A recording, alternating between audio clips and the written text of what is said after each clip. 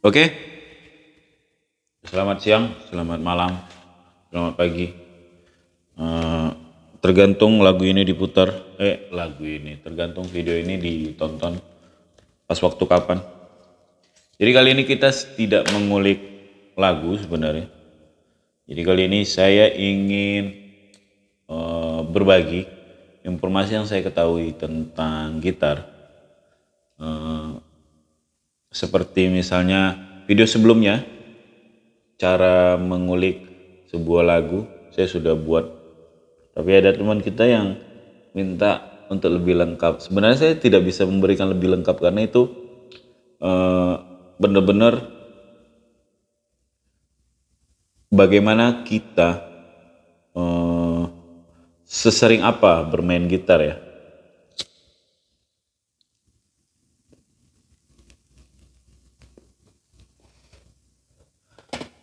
Jadi untuk lebih bagaimana sih cari chord gitu. Oke. Saya ingin coba misalnya video sebelumnya saya sudah buat tentang bagaimana cara mengulik lagu versi saya. Jadi ketika itu saya sampaikan bass ya, saya carinya melalui bass dulu. Tergantung sih, kalau nada tersebut saya sudah kenal banget gitu, saya bisa langsung mainkan misalnya di D, suara D saya bisa langsung D misalnya C, C gitu. Tapi ada kadang saya ngeraba mulai dari oke okay. ada ada kadang saya ngeraba ketika di bass saya jelaskan dia itu cuma ada menurut saya pemusik-pemusik biasanya pakai cuma dua nada ya. Nada satu dan nada dua. Ada nada tiga tapi saya jarang jarang sekali mendengarnya di sorry saya tidak mau bilang jarang. Mungkin saya tidak tahu nada tiga itu seperti apa. Tapi saya ingin coba bahas di nada satu dan nada dua. Jadi ketika saya cari chord biasanya antara dua itu yang saya jumpai. Kalau tidak misalnya Tapi saya akan coba menjelaskan sesimpel mungkin ya. Karena saya ada tonton beberapa kali uh, tentang scale ya. Saya ngantuk ya denger ya. Karena saya juga nggak paham tentang itu ya. Jadi saya ingin coba berbagi sama teman-teman. Pertama kita coba yang disebut scale itu itu macam tangga nada ya kalau saya tahu. Sekali lagi saya ingin mencoba menjelaskan versi saya. Saya tidak kalau ada yang les gitar di sini mungkin bukan tempatnya. Saya ingin mencoba biasanya kalau kita sesama otodidak itu biasanya lebih mengerti ya. Saya coba jelaskan. Jadi yang paling penting tuh apa ya? Paling penting itu kalian harus tahu dulu nih, ya. Tahu dulu. Saya tidak mau bilang kalian harus menghafal oke okay, kalau menghafal uh, mungkin kalian bisa menghafal semua ya. Tapi saya tidak seperti itu. Saya tidak orang yang bisa menghafal. Tapi saya pastikan saya tahu saya tahu apa aja di sini. Dan saya tidak menghafalnya. Saya coba ajarkan ke kalian yang pemula-pemula ini ya saya coba ajarkan cara menghitungnya aja. Jadi kalian harus tahu dulu scale itu uh, arah-arahnya ke mana gitu. Maksudnya itu saya kasih contoh aja ya seperti tali 6 nih. Tali 6 dia di E ya. Kalian harus tahu dulu tuh E. Terus tali 5 dia apa? Di A. Kalian saya akan coba catat nanti di atas ini kalau saya ada waktu kalau tidak ada, kalau saya tidak catat berarti saya tidak ada waktu untuk ngeeditnya. Nah, tali 5 itu A. Kalian harus catat dulu. Tali ini di sini aja nya kalian catat ya. Di A, di E, A. Video-video saya sebelumnya juga sudah ada saya jelaskan tentang ini ya. Mungkin saya ingin mengulangi tapi tidak secara detail ya. A, E, di tali senar ya, senar ya. Ada yang bilang tali ya kebiasaan kita ya karena kita otodidak ya bukan nih. Jadi senar 4 di D ya. Senar 5 di eh senar 3 di G. Senar 2 di B, senar 1 di E. Berarti apa? Kalau kalian open senar-senarnya, dia ada ada tulisannya semua ya, ada nadanya semua. Nah, itu panduan saya. Jadi kalian harus ingat di sini ya. E, F, G, A, B, C, D, E lagi. Nah, kalian di situ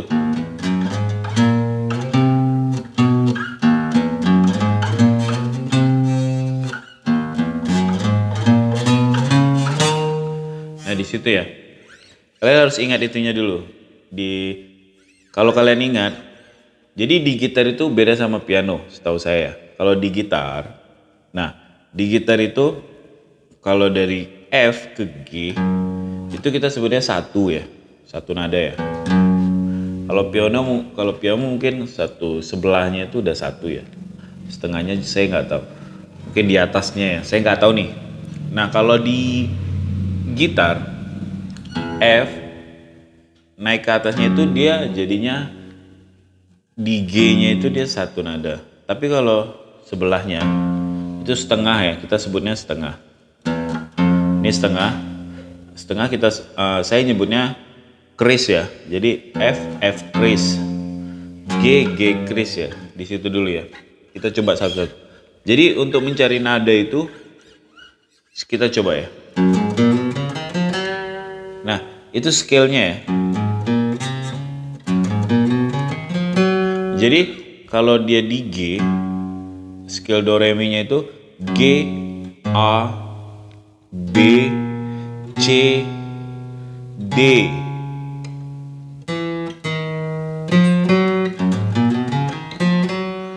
Nah, ini dia di di D berarti di E. E, F, F kris dia di G lagi. Nah, cara nyarinya itu dari mana? Kalian yang penting ininya dulu ya. Jadi ini sebenarnya mengikuti nih.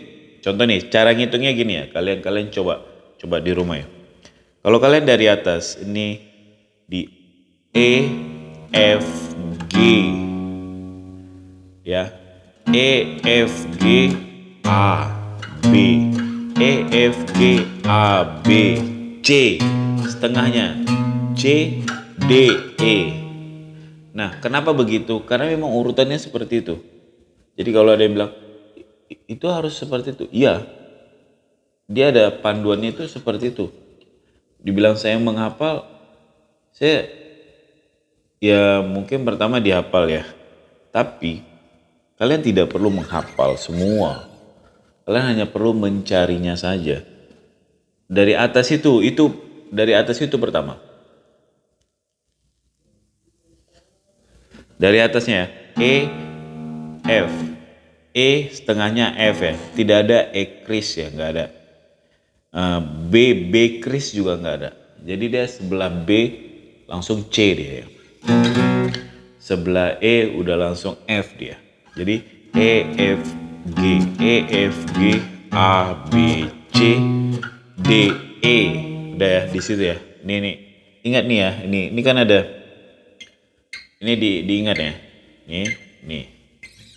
Dari situ akan dapat nih semua. Yang ke bawahnya itu dapat semua. Yang penting stem gitarnya sama ya. Saya ulang sekali lagi ya. E, F, G, A, B, C, D, E. Oke ya di situ ya. Ya. Tuh, itu formatnya. Nah, kalau yang di sini apa? Sama. Ini E. Oh, di sini E, di sini F kan. Di sini F. Ini ini nggak perlu kalian hafal, bukan saya bilang tidak boleh ada boleh, tapi itu akan sangat membuang waktu. Jadi dari sini aja kalian cukup tahu E, F, G, A, B, C, D, E. Nanti di sebelahnya sudah langsung F, G, A, B. Kan begitu. F, G, A, B, C. Nah, kan sama bunyinya. Nah, di bawahnya juga sama. Kalau kalian pertama kali tali lima kan E eh, tali lima kan A. Berarti kalau dari sini A, sebelahnya apa? B kan. Jadi kalau ini satu ya, satu nadanya B ya. Jadi kalau A, satu nadanya ya B. Kalian hitung A, B, setengahnya C. Oke di situ ya. A, B, setengahnya C.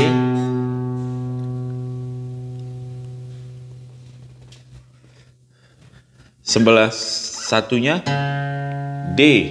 Satunya lagi E. Ini E. Kira-kira seperti itu. Nah, sama di bawahnya juga sama. Dia di D. Ya, D. Tali tiga itu tali empat itu harus D. Nah, kalau kalian di sini jumpanya D, kita ulang dari atas. A B C A sorry sorry. E F G A B C D. D kan? Sebelah dia pak. E kan? Berarti kalau kalian ini opennya D satu nada dia. Naik ke satu nada berarti dia E. Habis itu apa? F. G. A lagi. Ya? Habis A apa? B. Habis B apa? C. Habis C D. Berarti ini D. Sudah. Nah, tadi saya jelaskan cuman dua yang tidak ada yang tidak ada ininya ya yang tidak ada kris. E sama B. E sama B itu tidak ada krisnya. Jadi kalau dari E sebelahnya itu sudah tidak kris itu langsung F. Jadi kalian tidak ada yang namanya F E kris nggak ada. Setahu saya ya, tidak ada. Kalau ada pun di mana letaknya? Gitu jadi kalau B sebelahnya sudah C. Ya. Sama ngitungnya dari bawah juga sama. Uh, tali dua tali kalau tali satu sama tali enam itu sama. Stemnya sama. Jadi kalau kalian naikkan di sini F ya di sini F. Bunyinya pun sama. Begitu kira-kira. Jadi kita balik lagi. Mungkin agak panjang ya. Kita balik lagi ke scale. Scale itu tangga nadanya ya. Uh, apa-apa aja. Kalau G begitu ya. Berarti sahabatnya apa? G ada A ada B ada C ada D ada apa? E. G itu sama E masuk juga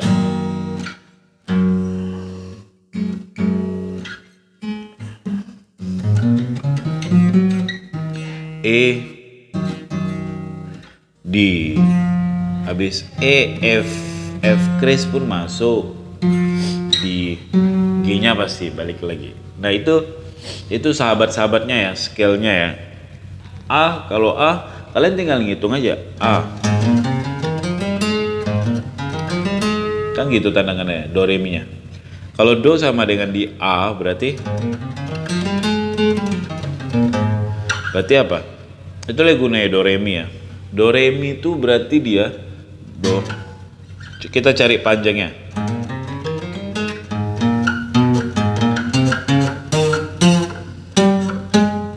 Nah, do re mi itu satu satu satu satu setengah satu satu setengah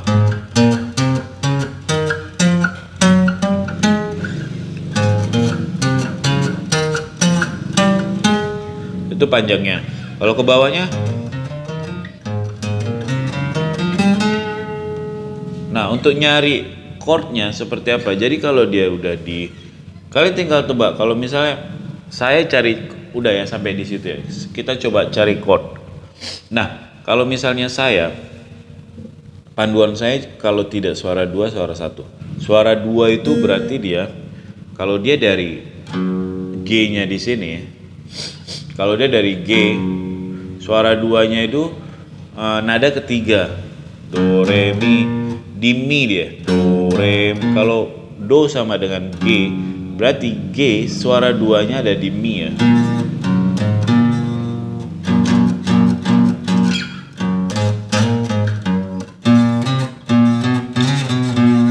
Begitu kira-kira.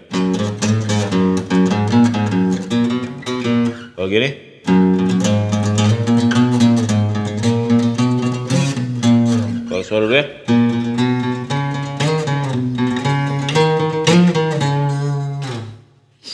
kira-kira untuk suara duanya ya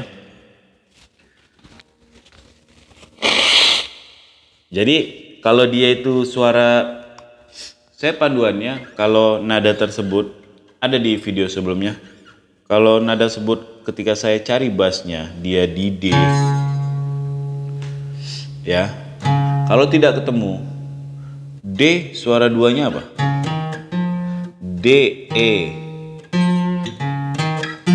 Suara kedua dari D dia ada di D E. F F kris. Biasanya pasti dia kuncinya di G. Kalau kalian sudah dapat bassnya misalnya, uh, kalian dengar sebuah lagu dia mainnya di D. Terus kalian pasang kunci D nggak cocok nih. Kalian coba pasang kunci F, F kris ya, atau F kris atau F kris minor. Begitu kira-kira. Cara saya mencari sebuah lagu.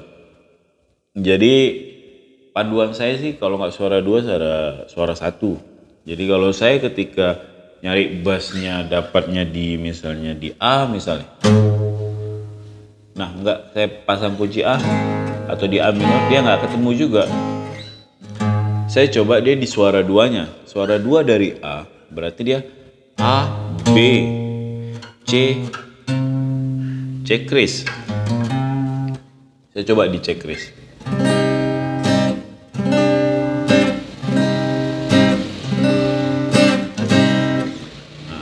Kira-kira seperti itu cara saya membentuk.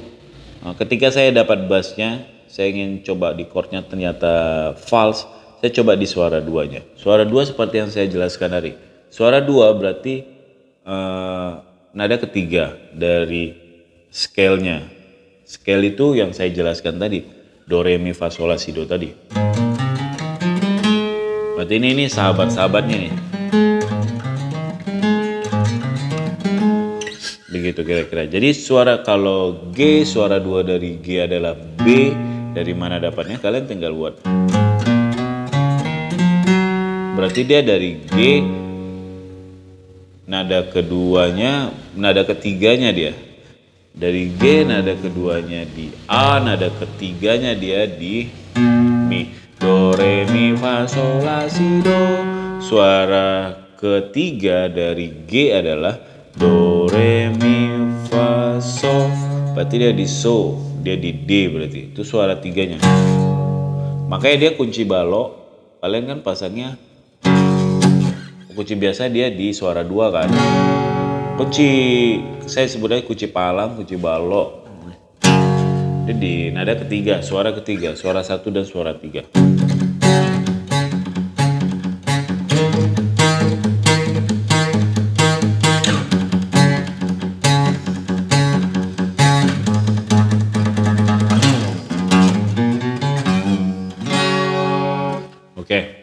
Uh, saya rasa cukup sampai di situ. Uh, untuk teman-teman yang kurang paham bisa coba komentar dan kita coba ngobrol-ngobrol ya. Kayak teman kita. Nah ini uh, untuk teman kita yang belum ngerti saya akan tag dia. Mudah-mudahan paham untuk mencari untuk membuat chord ya atau kunci gitar dari bass ya. Ketika kalian ketemu bassnya, kenapa chordnya tidak bisa? Kalian coba di na, di suara duanya. Suara dua itu apa? Suara dulu. Nada ketiga dari scale. Scale itu do re mi fa sol la si do. Oke? Uh, saya rasa cukup. Semoga bermanfaat. Jangan lupa subscribe bagi yang senang dan boleh uh, unlike like. Bagi yang senang like unlike juga boleh. Nah, tidak masalah. Oke? Uh, saya cukupin dulu. Terima kasih banyak yang sudah menonton. Wassalamualaikum warahmatullahi wabarakatuh.